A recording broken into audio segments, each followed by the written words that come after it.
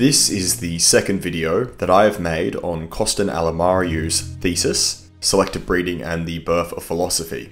If you haven't watched the first video, I suggest you click this link. If you would like to support the work that I do, please subscribe to my YouTube channel and Patreon. Thank you. In 399 BC, Socrates was put to death by the Athenians. No other trial, except that of Jesus, has left so vivid an impression on the imagination of Western man. The father of Western philosophy had been killed by his own people. Why? Why did the Athenians decide to kill Socrates? Typically, people view the trial of Socrates as a witch hunt. They believe that Socrates was executed for critiquing religion. There is some truth to this view. It is not, however, the full story.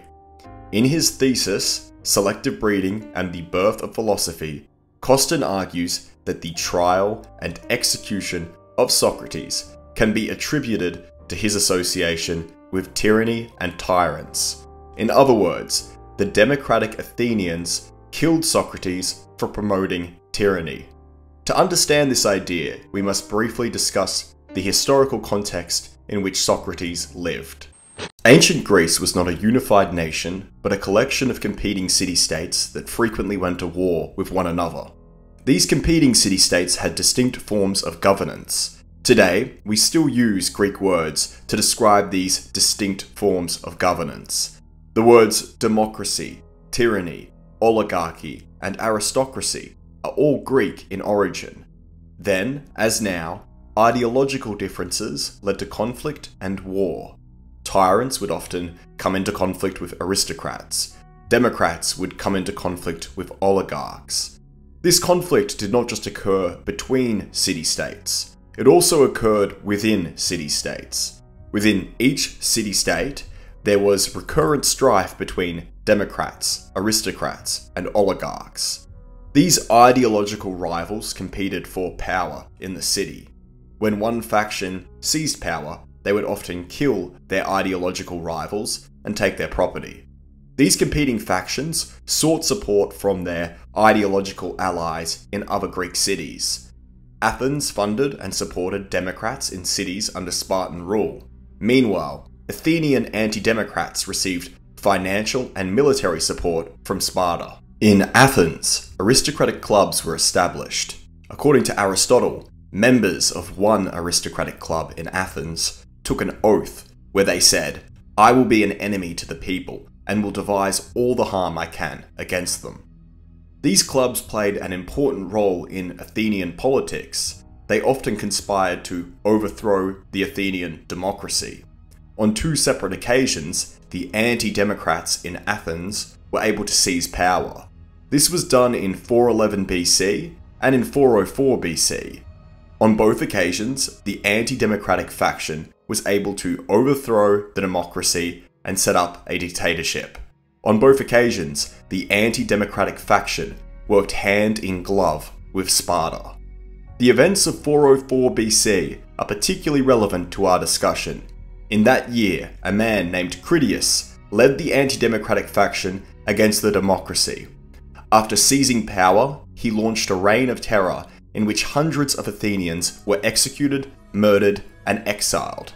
Aristotle claims that 1,500 Athenians were executed without trial. This event, in and of itself, was not that unique.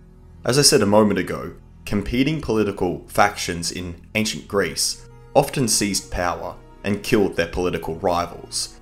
What was unique was the ideas that Critias was motivated by. Indeed, Critias was a political philosopher who had become a tyrant. Critias believed that morality, custom, and religion were created by weak men to enslave strong men. In a state of nature, strong men rule, but through religion, laws, and morality, the weak are able to triumph over the strong. Critias believed that this was a violation of the natural order. In other words, he believed that nature should triumph over custom, that the strong should triumph over the weak. He believed that the strong man should be like a lion, doing whatever it wants, regardless of what others think. This is why he slayed the priests. It's why he exiled and executed the Democrats. This is how Costin describes this event at the beginning of his thesis. Critias was the Hitler of the ancient Greek world. He and his friends established a regime based on atheistic biologism, so to speak, on Sparta radicalized, a eugenic antinomian dictatorship. He was maybe what Hitler's most hysterical detractors claim of him today. Critias killed more Athenians in his short rule than died in the decades of the war with Sparta. He expelled almost everyone from the city and burned the docks, which were the perceived source of democratic power. He wasted all the priests for being tedious religious moralists. He saw the purpose of the Spartan constitution as the creation of one supreme biological specimen, and Critias sought to found a state based on such ideas. What does this have to do with Socrates? How are the events that I just described relevant to him? Well, Socrates taught Critias, and Critias was Plato's uncle. Both Socrates and Plato were outspoken critics of democracy, and many members of their philosophical circle promoted an amoral antinomian philosophy that suggested that might equals right. This leads one to wonder what role did Socrates play in the rise of Critias? Furthermore, what was the relationship between philosophers and tyrants? These questions will be explored in this video. In my last episode on selective breeding and the birth of philosophy, I spoke about the distinction between nature and convention. The things made by man are conventional, the things not made by man are natural. Burial rites, dress codes, and religious practices are made by man. Blood, soil, and waterfalls are not. Today, the distinction between nature and convention is recognized by most people, but Costin argues that this was not always the case. The idea of nature has been alien to most people throughout most of human history. This is because custom, convention, and unwritten law have been seen as natural.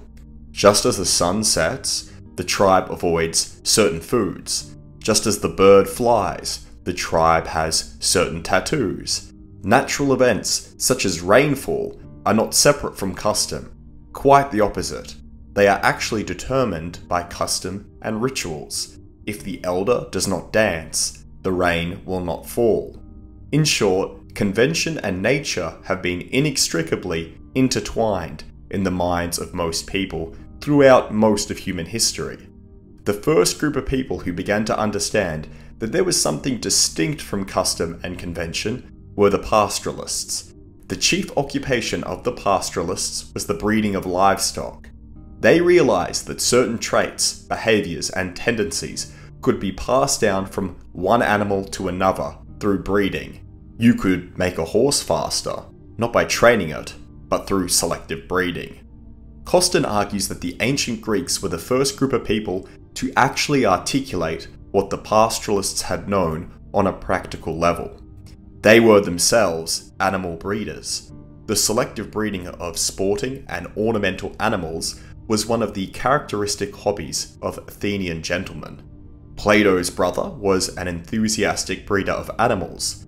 Plato's stepfather was renowned for breeding beautiful peacocks.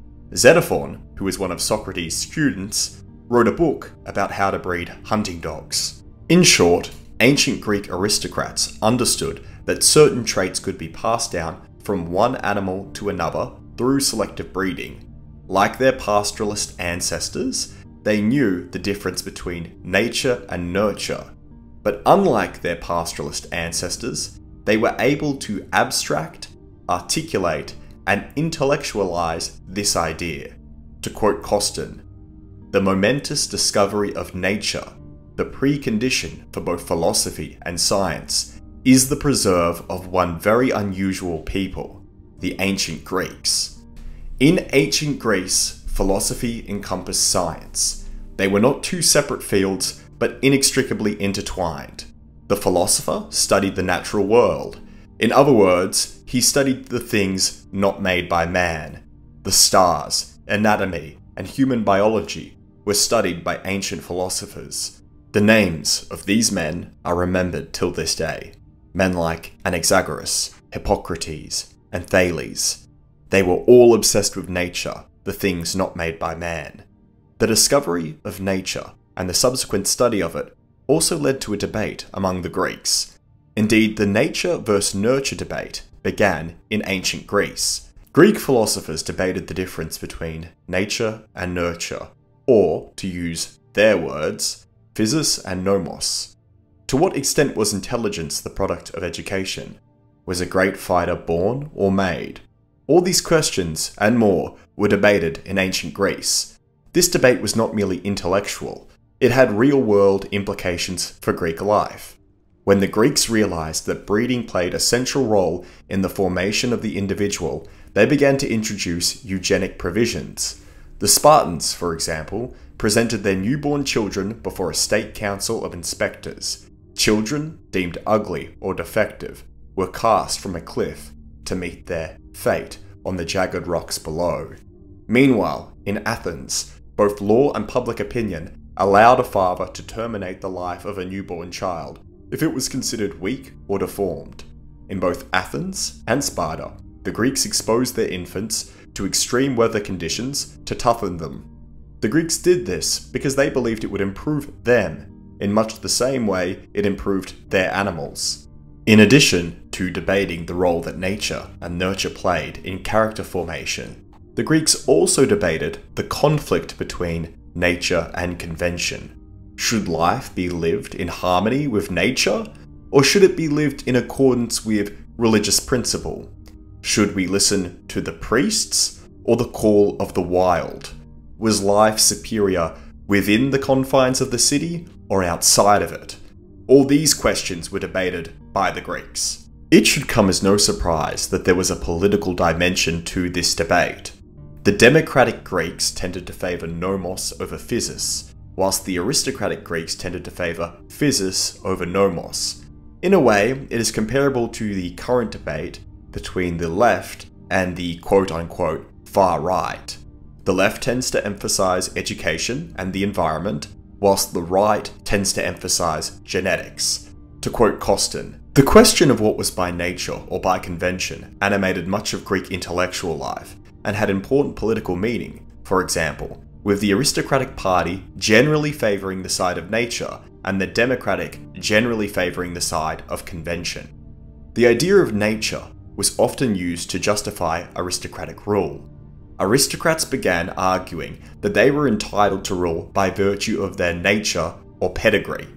They noticed that relations between animals were unequal, and therefore argued that relations between man should also be unequal.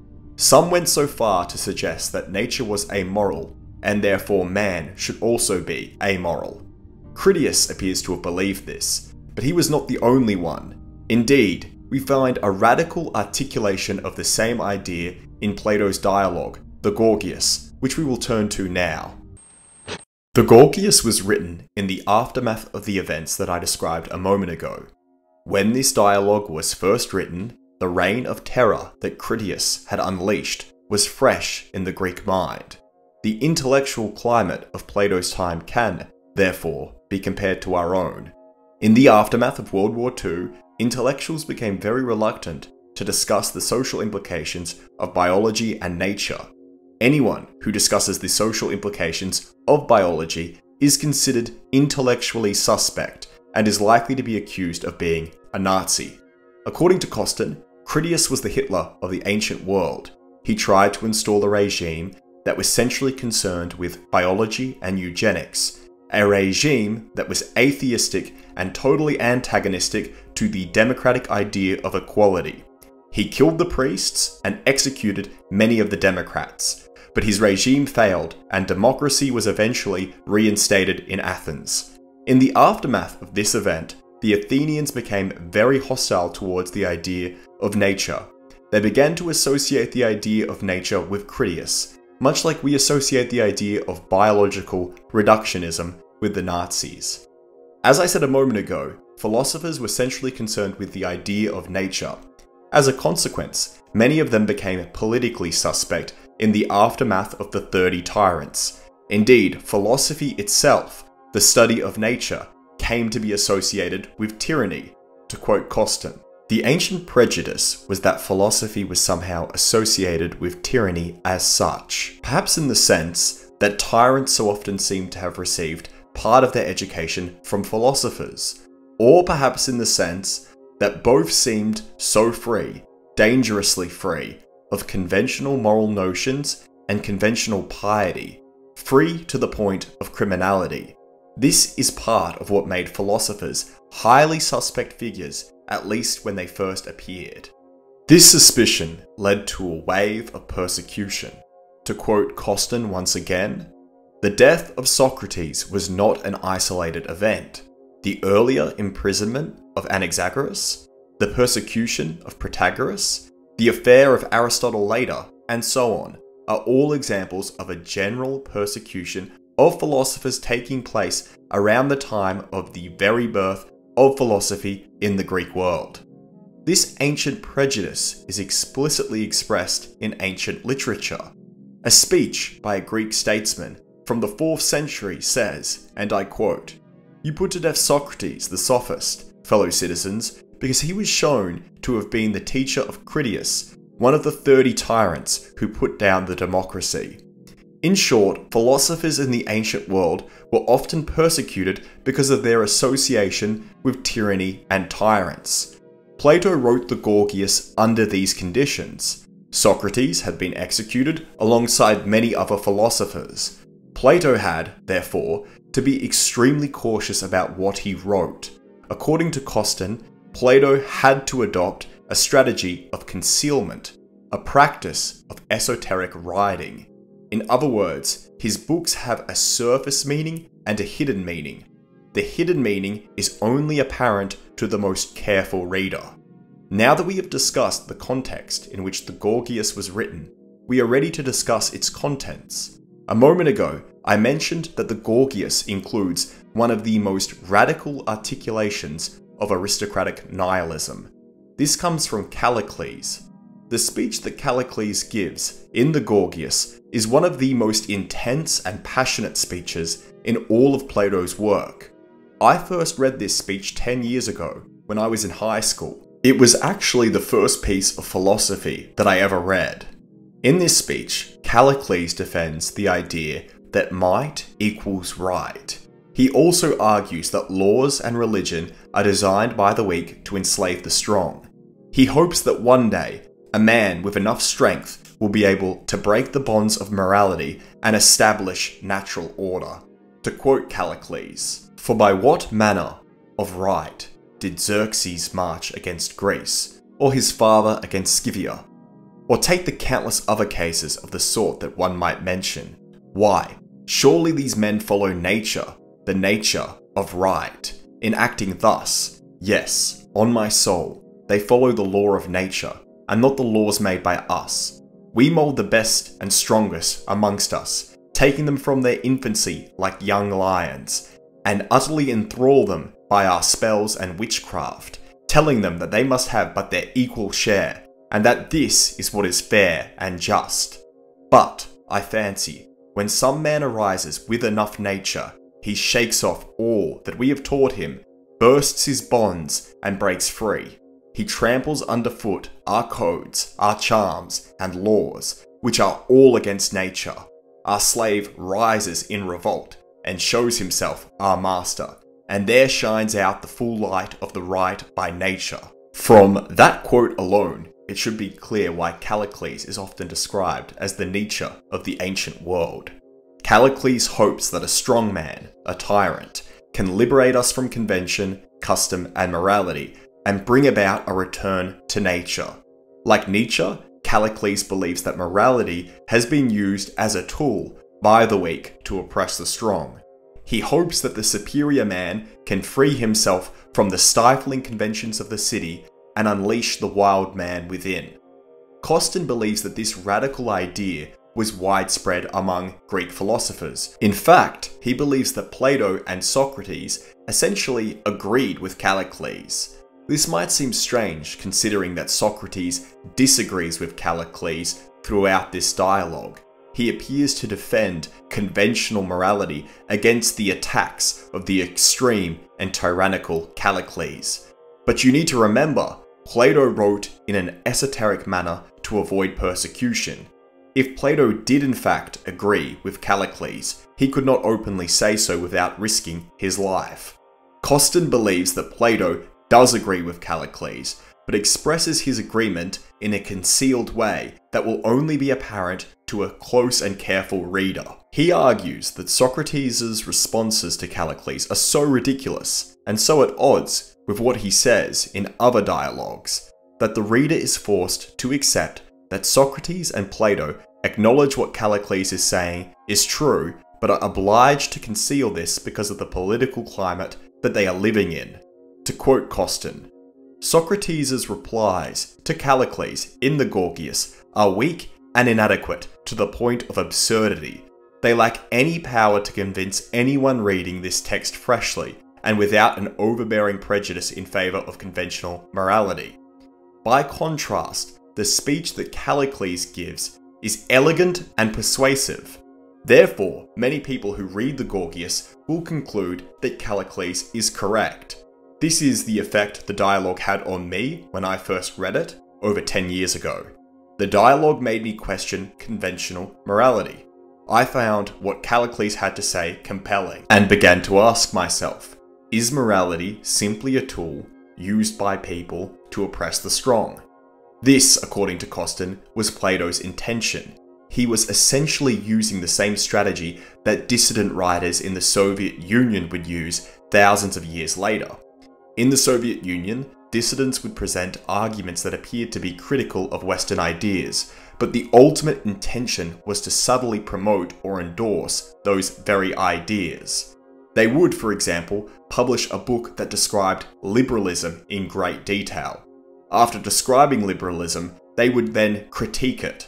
But the critique would typically be fairly weak and unconvincing. They were allowed to publish this work on liberalism as they appeared to be scrutinizing it. However, beneath the surface, these dissidents were subtly advancing the ideas they claimed to oppose.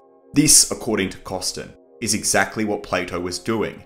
To quote him, Socrates is made to look so moralistic, pedantic, indignant, and ultimately ridiculous that an objective reader might be left thinking that Plato wanted Callicles to have the superior argument. Many other clues led me to believe that the true teaching of Plato is the tyrannical teaching of Callicles, just with makeup on, made polite and presentable for political society. Let's briefly recap what has been said so far. Ancient Greek aristocrats were the first people to discover and articulate the idea of nature. Nature refers to things not made by man. The discovery of nature leads to the birth of philosophy. Indeed, philosophy began as the study of nature. In order to study nature, the philosopher has to disregard tradition. He has to break free from his cultural conditioning. This alienation from tradition enabled the ancient Greek philosopher to look at the world in a totally new way. They rejected religious explanations of natural phenomena and began to view the world in a scientific way. This scientific worldview led to advancements in astronomy, mathematics, physics, medicine, and anatomy. But it also led to a radical new view of politics. As we discussed earlier, Greeks began placing a much greater emphasis on the role of genetics in life. In a number of Greek city-states, eugenic provisions were embraced. Even more radically, some philosophers, such as Callicles, came to totally disregard tradition, religion, and morality. They argued that religion, tradition, and morality had supplanted the natural order. Callicles hoped that a tyrant would rise up and bring about a return to nature. Costin argues that this view was widespread among philosophers. That is why they were persecuted by the democratic Athenians. He believes that Socrates was ultimately executed because of his association with tyranny and tyrants. But this association goes beyond Socrates. Indeed, philosophy itself was associated with tyranny in the ancient world. To quote Costin, philosophers and tyrants were both perceived by the cities of the time as kindred criminal spirits. Philosophers were attacked as teachers of tyranny, tyrants' lickspittles or companions, associates of tyrants. In his work, Plato managed to successfully deny this association. Today, most people believe that Socrates was executed for simply questioning the religious beliefs of the Athenians. They do not know about his association with tyranny. In this section, I am going to outline that association. We have already mentioned Critias, who led an uprising against the democracy in 404 BC with the help of Sparta. He murdered the priests and executed his democratic rivals.